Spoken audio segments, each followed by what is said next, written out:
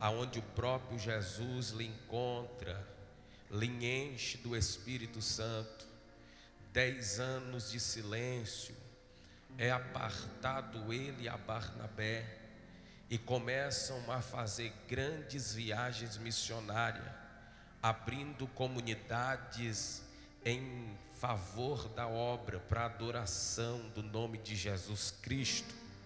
Esse apóstolo Paulo, que quando antes de encontrar Jesus, ele judiava da igreja de Jesus Cristo, perseguia a igreja de Jesus Cristo, mas Jesus pegou um perseguidor e tornou ele um perseguido para a glória do nome de Deus.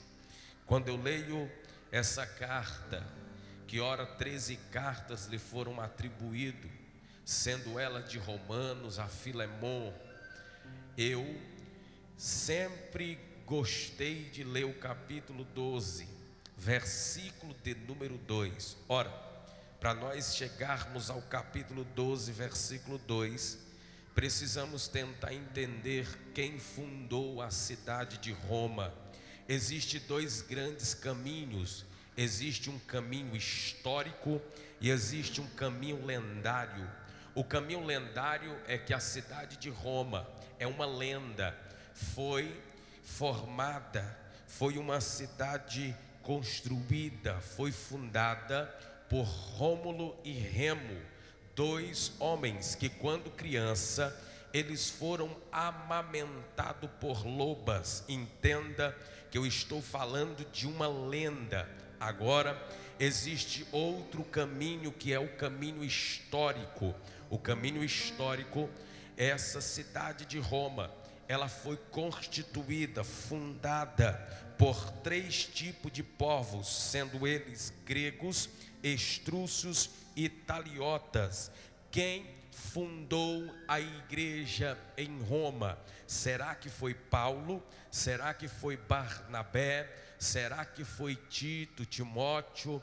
Quem fundou a igreja em Roma? Paulo não fundou a igreja em Roma. Quem fundou a igreja em Roma, segundo os historiadores, foi os pentecostais, aqueles que saíram com a chama acesa do Atos, capítulo de número 2, entraram dentro de Roma e abriram comunidades para engrandecer ao nome de Jesus Cristo. Se você atentar ao capítulo 16 de Romanos, você vai ver que mais ou menos cinco igrejas ou cinco comunidades foram abertas em casas para glorificar o nome de Jesus Cristo. Paulo, ele começa a entender, ele começa a ter o desejo de estar, de escrever e de visitar uma igreja que ele não havia fundado. E quando entendemos toda essa palavra que Deus nos revela, sabemos que dentro da carta aos Romanos ou à igreja em Roma, Paulo ao escrever tinha alguns propósitos propósitos para com essa igreja. O primeiro propósito que Paulo tinha com essa igreja era dar ênfase à justificação pela fé. O segundo propósito que Paulo tinha para com essa igreja era exortar exortá-los, era ensiná-los uma igreja que ele não havia fundado. Terceiro propósito, porque Paulo escreveu ou tinha com aquela igreja, era despertar aquela igreja para um grande mover missionário. Quarto propósito de Paulo com aquela igreja era ensiná-los a ajudar aos necessitados. Então, o primeiro propósito propósito, dá ênfase à justificação pela fé. Segundo propósito, exortá-los, ensinar uma igreja que ele não havia fundado. Terceiro, despertá-los para um grande mover missionário. Quarto, ele queria ensinar os irmãos da igreja em Roma a ajudar aqueles que precisavam, os necessitados, as órfãos, os órfãos, as viúvas e assim aqueles que precisavam ser alimentado e ajudado. Só que dentro da carta que Paulo escreve à igreja que está em Roma, Paulo queria ensinar algumas coisas, tanto à igreja, como líder que estava cuidando daquela igreja, sendo ele o pastor daquela comunidade. A primeira característica que Paulo queria ensinar tanto ao líder como à igreja é que ela precisaria ser grata todos os dias, porque está escrito em tudo dai graça, porque essa não é a minha vontade, essa é a vontade de Deus. Oh, glória ao nome de Jesus. A segunda característica que Paulo queria ensinar àquela igreja é que aquela igreja, que aquele pastor e que aqueles irmãos fosse uma igreja de oração, orando sem cessar. A terceira característica que Paulo queria ensinar aos irmãos e ao líder daquela igreja é que eles fossem uma igreja de comunhão, uma igreja que tinha comunhão tanto dentro do templo, da comunidade, como também na sua vizinhança, na sua rua, no seu bairro, tivessem comunhão com o vizinho da esquerda, da direita, do fundo, da frente. Assim ele queria ensiná-los a também ter comunhão, assim como ser grato e também ser uma igreja de oração. Paulo também tinha alguns sentimentos por essa igreja, uma igreja que ele não havia fundado, mas dentro dele havia um, uns grandes sentimentos que ele queria passá-los àquele irmão. O primeiro sentimento do apóstolo Paulo para com essa igreja é que os crentes orassem por ele. Paulo estava pedindo que os irmãos da igreja em Roma orassem por ele, algo que me chamou a atenção aqui nesse culto, muito, é, muito normal nos dias atuais, pela ótica do que eu vou falar. O pastor olhar para a igreja e ter um domínio de tantas pessoas, é como você está vendo eu simplesmente sozinho pregar, mas tem muita gente olhando para mim, e eu só olhando para muita gente, então há uma dificuldade, não para você, há uma dificuldade para mim guardar todos os rostos, semblantes e assim a fisionomia da pessoa. Então o apóstolo Paulo vai fazer algo assim que vai chamar a atenção, mesmo que ele não conhecia os face a face, mesmo que eles não tinham aquele aquele convívio diariamente.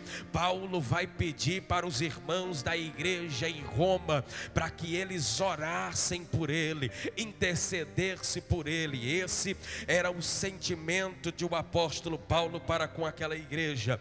O segundo sentimento do apóstolo Paulo para com aquela igreja, ele disse àquela igreja que queria, tinha vontade de ter com eles, abraçá-lo, conversar, colocar algumas conversas, tratar acerca do Evangelho, falar acerca da ressurreição, falar acerca de Jesus Cristo, que é o tema central da mensagem do apóstolo Paulo, que é Cristo Jesus. Então, além que ele queria que os crentes orassem por ele, ele também queria abraçá-los, queria ter com ele.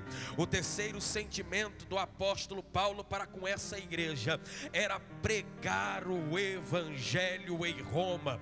Todos nós sabemos que a cidade de Roma existia uma das grandes prostituição e ia muito mais além, que eles faziam sexo explícito nas praças, e isso incomodou o apóstolo Paulo a descer a escrever aquela igreja e dizer que a vontade que ele tinha é chegar e pregar o evangelho, aquele povo, um evangelho de transformação, um evangelho de graça, um evangelho de mudança, um evangelho que coloca você diante da presença de Deus e com o nome escrito no livro da vida. Oh, glória ao nome de Jesus. Então, esse era mais um dos sentimentos do apóstolo Paulo a igreja em Roma. O quarto sentimento de Paulo para a igreja era que ele queria estar com aquele povo, porque Paulo queria compartilhar os dons. Ora, Paulo não queria proibir os dons, não. Paulo queria era dividir, ele queria era compartilhar, dizer que na graça de Deus, dizer que na presença de Deus tem coisas boas para o crente usar diante dia a dia, sendo profeta, sendo que você ore, traga uma palavra de ânimo. O apóstolo Paulo então queria assim trazer a ele o compartilhamento dos dons.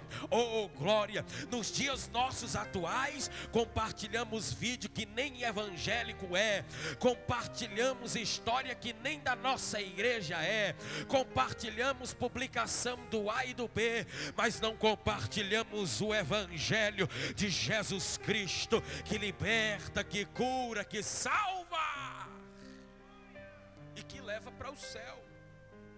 Então, Paulo queria compartilhar os dons. É até tanto que Paulo queria tanto compartilhar os dons, que ele escrevendo a carta aos Tessalonicenses, ele diz: Não extinguais ao Espírito.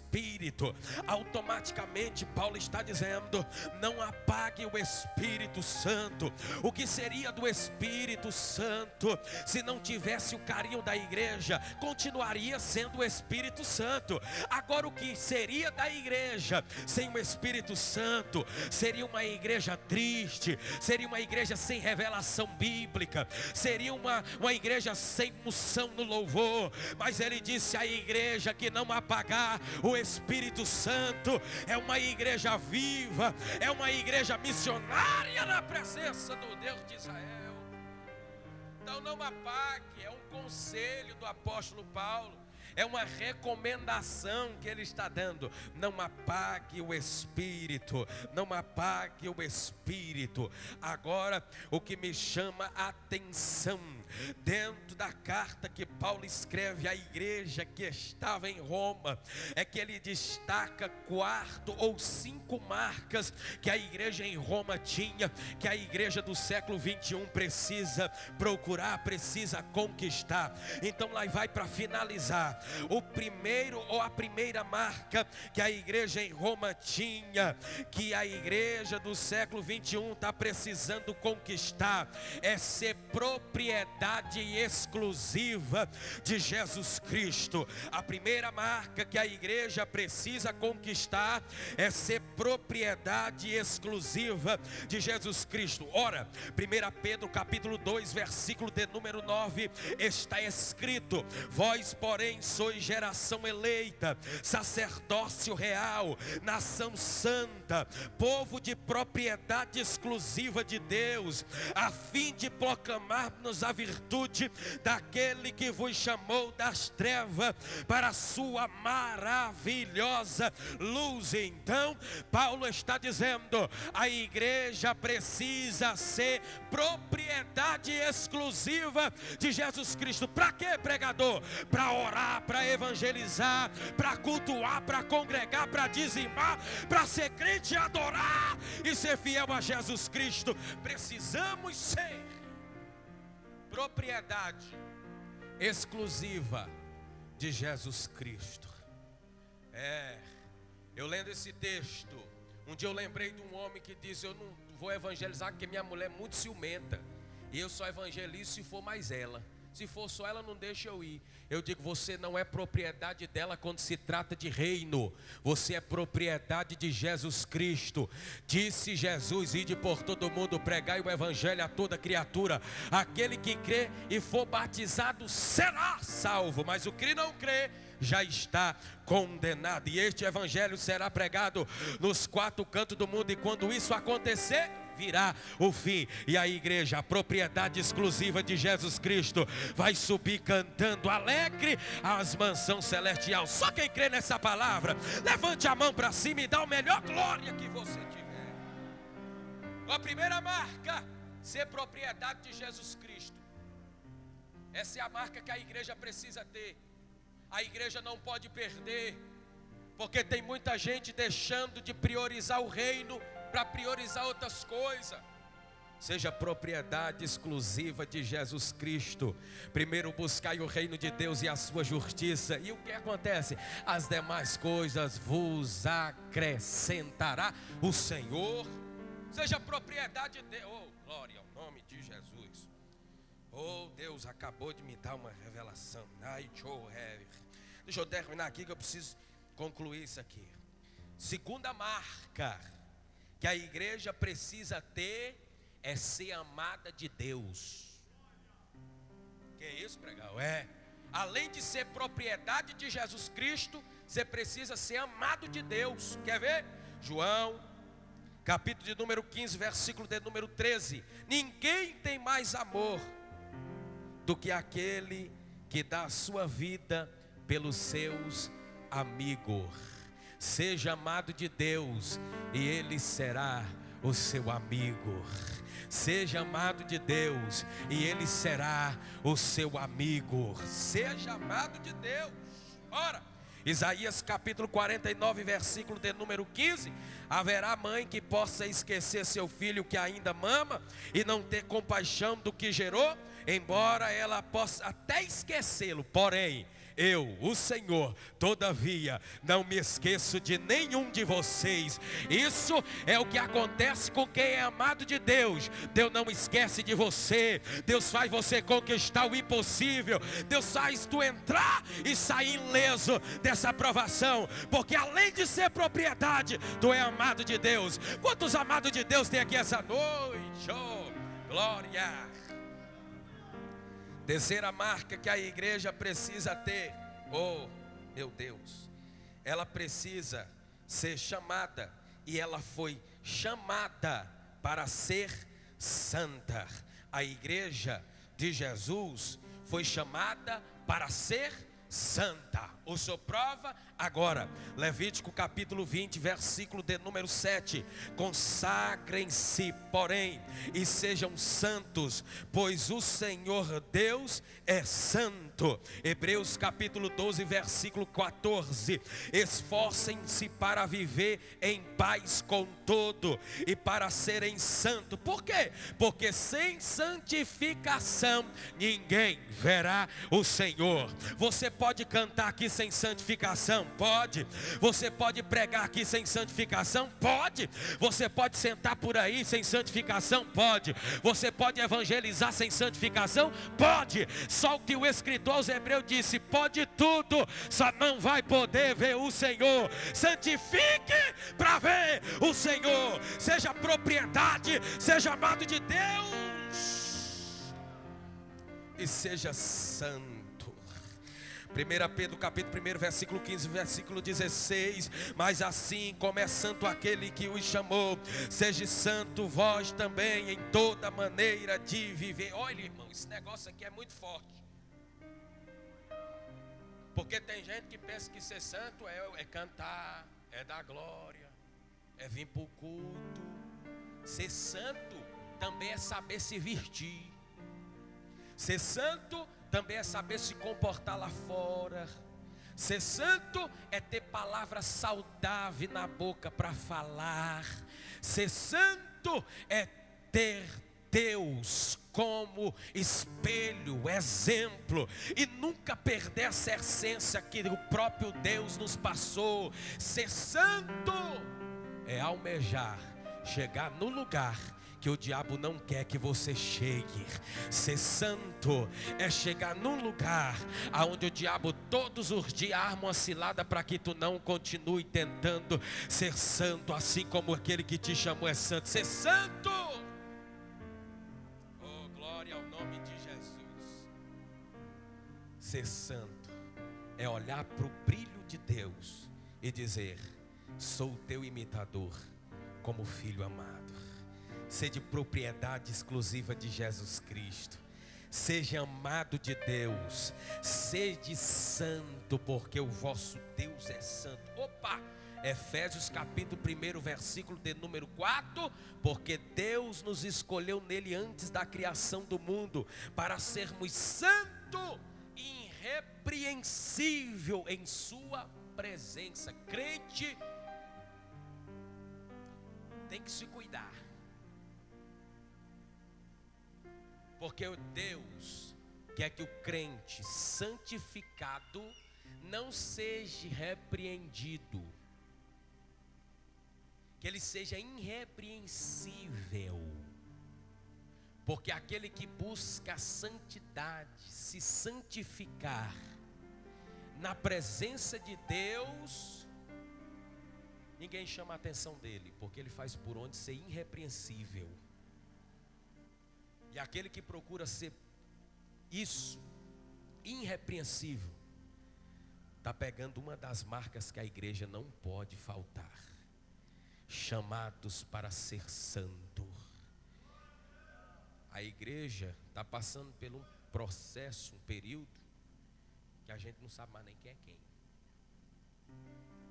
Mas quando a trombeta tocar, pode ter certeza que nós vamos saber quem é quem. Quem estava buscando a santidade e quem não estava. Porque essa é a vontade de Deus, que nós tenhamos a marca de Cristo. Agora, ele foi chamado para ser santo. Quarta marca, precisa ter paz. Precisa ter paz. Tenho dito-vos isso, para que em mim tenham paz. No mundo tereis aflições, mas tem de bom ânimo. Eu venci o mundo. Quer ver uma promessa? Você também vai vencer. João capítulo 14, versículo 27. Deixo-vos a paz, a minha paz vos dou. Não vos dou como o mundo dá. Não se turbe o vosso coração e nem se atemorize. Olha, Mateus capítulo 5, versículo de número 9. Bem-aventurados pacificadores, porque eles serão chamados filho de Deus. Ande na paz. Não deixe que a tribulação te perturbe. Perturbe a tribulação, mas nunca deixe ela te perturbar. Ande na paz, na graça do poder do nosso Senhor e Salvador Jesus Cristo. Quinta marca que fechou. Você precisa ter graça. Primeira marca, propriedade exclusiva de Jesus Cristo.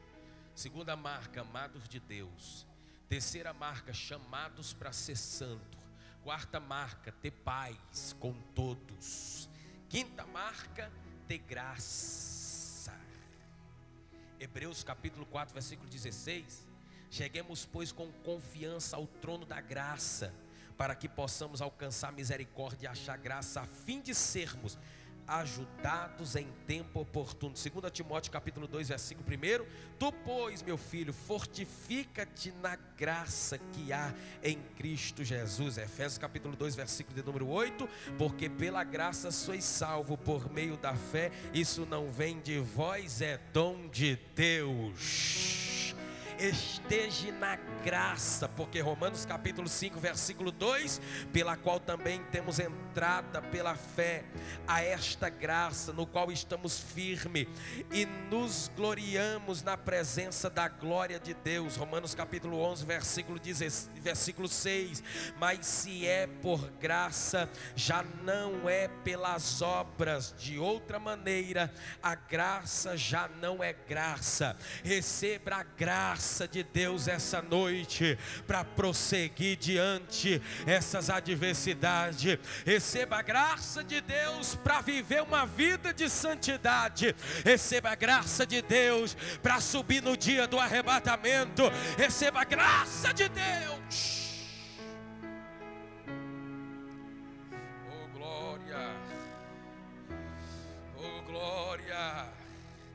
Efésios capítulo 4, versículo 7 diz: Mas a graça foi dada a cada um de nós segundo a medida do dom de Deus. Qual é a medida que Deus tem te dado de graça?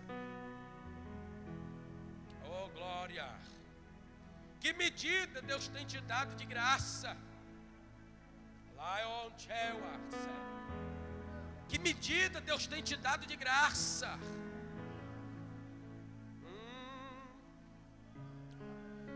Qual é a medida? Qual é a medida? Quando Paulo escreve a carta aos Romanos, cada versículo a cada capítulo desse livro, dessa epístola, ele me deixa alegre na presença de Deus, porque o que o diabo e o mundo mais quer nos condenar é jogar nossa alma no inferno depois de ter conhecido essa graça e esse Deus. Ele quer fazer nós se destruir entre si. Ele quer que nós o destruímos um ao outro. Ele quer que nós causa intriga, confusão dentro da casa de Deus.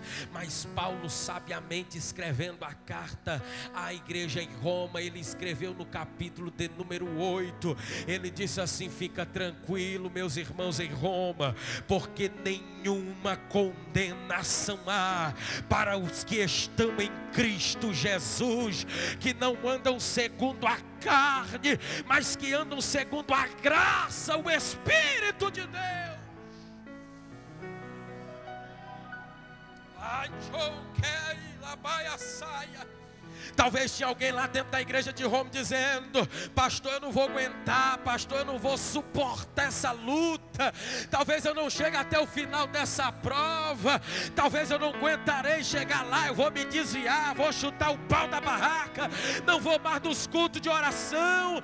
Não vou mais nos cultos de ensino. A minha vida não mudou nada. Mudou, mudou muita coisa. É porque o diabo está tentando cegar a tua visão. Mas a tua visão hoje hoje vai cair as escamas dela. Tu vai ver o que Deus tem feito. Tu vai ver o milagre que Deus forneceu para a tua vida.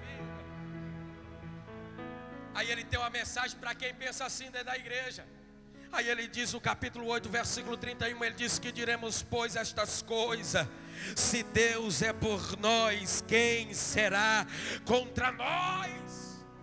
Alguém olhou e disse: Pastor, mas dentro da igreja, o pessoal não ajuda, os necessitados, eu pereço, passo fome, não tenho veste, a tribulação é grande. Ele diz: Meu filho, quem nos separará do amor de Cristo? A tribulação ou a angústia, a perseguição ou a fome, a nudez ou o perigo ou a espada, como está escrito: Por amor de ti somos entregues à morte todos os dias, fomos considerados como ovelha para para o matador, mas em todas essas coisas, mas em todas essas coisas, mas em todas essas coisas, não somos vencedores, nós somos mais. Vencedor, eu posso aqui dizer, é o mundo. A igreja não é vencedor. A igreja não é vencedora. Vencedor é quem ganha um carro no sorteio lá fora. Vencedor é quem acerta na Mega Sena. A igreja não. A igreja é hiper. A igreja é mais que vencedora na pessoa bendita de Cristo. Fica de pé em nome de Jesus.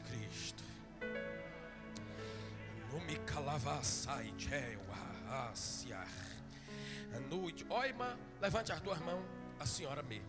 A senhora, isso, a senhora, as duas, as duas de preferência. Isso. O pai manda eu dizer para tu. Quando eu estava sentado aqui, o papai falou assim: fala para ela que eu estou fazendo uma transformação, uma mudança em alguns aspectos na vida dela que ela ainda não tem entendido. Deus mandou te dizer, fala para ela que o sofrimento não vai matar.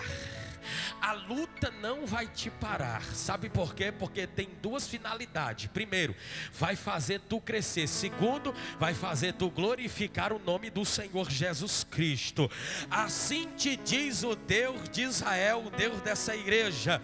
Assim limpo hoje a tua mente e tiro tudo aquilo que tu tem pensado que não tem me agradado. E a partir das seis horas de amanhã eu começo a fazer uma nova história para a tua vida. Te prepara, porque tirarei a tristeza do teu coração e assim farei grandes coisas no meio da tua parentela. Recebe a palavra de Deus para a tua vida. Oh, glória, oh, glória. Ô, oh, pastor César, eu sei que você é um homem temente muito a Deus. Sei disso, sem medo de errar, sem medo de errar. Mas quando eu cheguei aqui, que eu estava orando do lado do Senhor, que eu estava conversando com Deus e dizendo, Deus, eu estou debilitado, estou quase aqui, ponto, quase morrendo, não sei como é que eu estou mais. Eu me conheço por fora porque estou me vendo, agora por dentro não sei como é que está.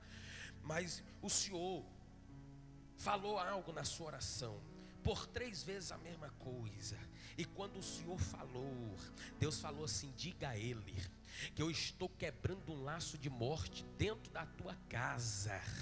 Deus me mostrou uma das tuas filhas se engasgando, e tu nem em casa ia estar, mas Deus, pelo teu coração bondoso, pelas tuas ofertas de sacrifício, pelos teus momentos de dificuldade sem murmuração. Deus disse: Ah, eu desço meu sangue nos umbrais daquelas portas e daquelas janelas, porque Ele aceitou o meu chamado, jogando tudo para trás e aceitando o que eu tinha para Ele para frente. Assim Deus faz hoje. Deus fecha a sepultura e te diz: Eu tenho promessa, porque tu sabe que desde o ventre tenho promessa para cada uma, e eu vou cumprir porque a palavra de Deus não pode cair por terra. Só quem crê que Deus está dando livramento aqui hoje.